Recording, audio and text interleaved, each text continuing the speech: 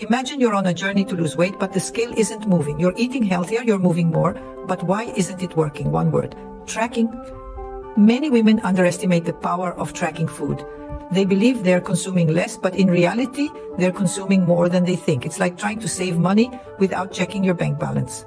Food tracking isn't about restriction, it's about awareness. It's understanding how much fuel your body needs and giving it exactly that.